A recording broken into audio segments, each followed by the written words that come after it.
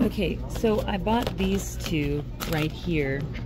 These two that are obviously broken, and an employee, uh, a guest was just laughing at me with an employee because I can't get my money back and I'm getting injured and burnt outside. And every store I go to, they rob me and the credit cards. And this employee, I'm just gonna, I'm not, I'm just not gonna show his face or anything like that. But what you have to do to get this is forty dollars, and this adds up. They're turning my fingernails into fungus and just laughing. So this says extra power, and these are all protected under a lock. So what happens is you have to walk up to the glass, and you have to rub, you know, put your the motion sensor, a hand near the motion sensor, and they'll, you know, um, initiate a call to a team member. So she tells me, I can't give you a refund or an exchange. Now, this is what causes displacement. Now, um, and begging in the middle of the street after they guzzle down and hijack all the funds out of your bank account. And they guzzle down $5,000, $10,000, $200,000 in large chunks. That's why they all move around and maneuver around in groups of 10 because they rob people all day long. And that's why Walmart in Baldwin Hills went bankrupt. They hired security guards to work in the store to keep track of the schedule to allow boosters to rob everything until they finally went into a bankruptcy. And Walmart in Baldwin Hills is the largest Walmart except for the superstore in the other surrounding cities. So look at this. Now look at this good. $20.99 each. It's been five days and they're all faulty. I threw away the packaging and they know that I had to get an employee to open this glass case in order for me to give her the 40 dollars. But they they want to see my body crumble and die in the middle of the street after they steal everything that I own. And they've already shot my husband in front of the police station. So, and demised, hung 30 pregnancies. So, for some reason, they didn't want my husband and I to reproduce a baby. Uh, thank you. This is uh, actually Target Koreatown. It's not just Target. Um, this have gotten absolutely nothing to do with the corporation.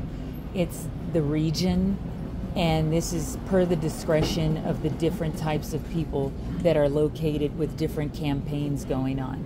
So it's, there's really no way to identify why or who.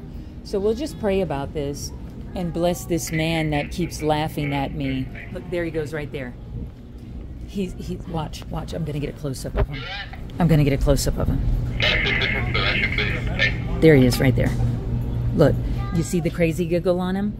He's going around hunting for me in the store, laughing because they're destroying my finances. I gotta go. I don't want to get banned or 86 from the store. They're trying to ban me uh, and rob. They're trying to disfigure my face, my body, my ears have turned into huge beer barrels, uh, burn my skin, and they injected my toes. My feet are two and a half sizes larger.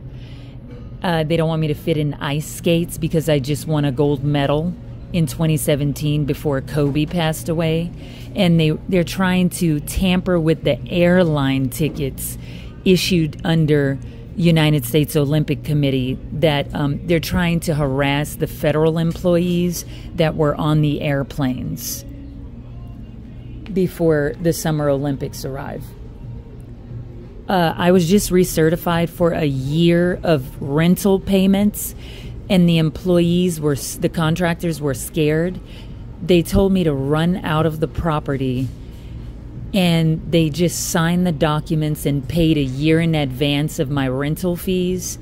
And they said, We don't know where you're going to live or what you're going to do. They busted your door. They said, But we're not going to stay in this property for longer than 30 more minutes. Run and we'll just catch up with you somewhere around. If we see you in the street somewhere, we'll help you out. But it's per your discretion to come back to the property. The and they changed the properties changed their names, all 30 buildings, uh, to beachfront properties from Skid Row Housing Trust, and they did this. They they overdosed me in Beverly Hills when I was in the MGM Executive Suite, uh, which is still an open court case from 15 years ago. So this has been a long, long struggle and um, now they followed me to Spectrum to cancel my 1.2 gigabyte per second cell phone device that I use to work full time. They don't want me to work, so they're asking me. Um, they're they're asking me to. Uh, hi. Are you okay? Uh, well, yeah, I'm fine, but everywhere I go, it was everywhere I go, I'm not going to put this employee on the uh, video camera. No, there's a guy, he's following me around, he's laughing at me profusely because the, the lady wouldn't return the phone chargers. Now, I was on, I put on videotape the price and the barcode and the key swipe where you have to, um, I mean, not key swipe, you have to put your hand underneath to get, uh, am I, I'm right or wrong? You got to call someone to unlock this to get in here, right? Okay, thank you. And so this is worth $40. I have, you guys do everything digitally real fast, everything digitally. And and I'm like, for four days, I've been trying to charge this phone. As you can see, here, I'm going to stop the videotape real quick because this is actually one of my favorite stores. So I don't want to get banned from here because I, I don't believe you're allowed to videotape anything. But hold on, can't um, stop the video. Okay, I have to talk to the employee.